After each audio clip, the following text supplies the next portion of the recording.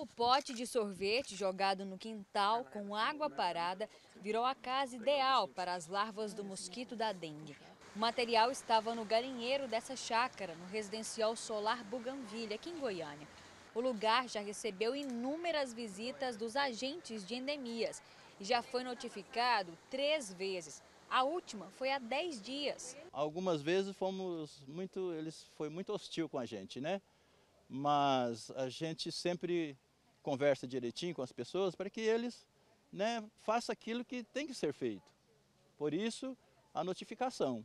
E a consequência desse descuido atinge a vizinhança inteira.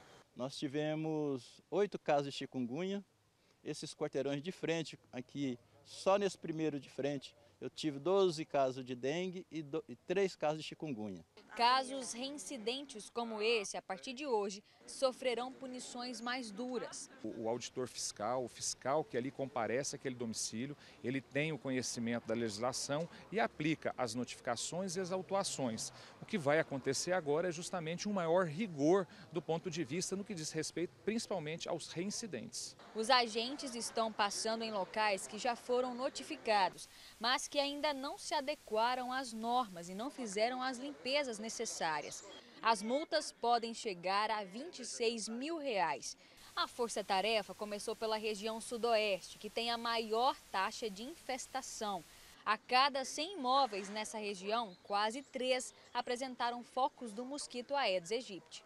Goiânia está entre as cinco cidades com as maiores taxas de incidência da dengue do país. Já são 28 mil casos notificados aqui na capital, um aumento de mais de 1.300% quando comparado com o mesmo período do ano passado. Nove pessoas já morreram por causa dessa doença.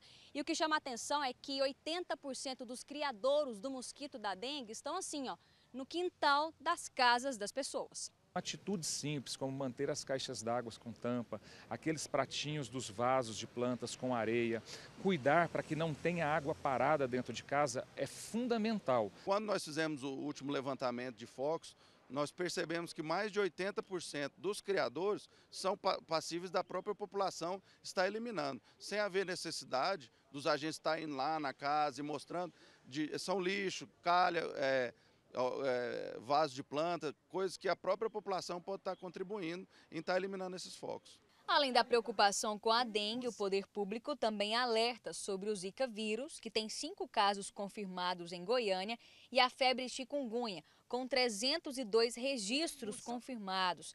Todas essas doenças são transmitidas pelo mosquito Aedes aegypti. O aumento de gente doente pode sobrecarregar o sistema de saúde pública.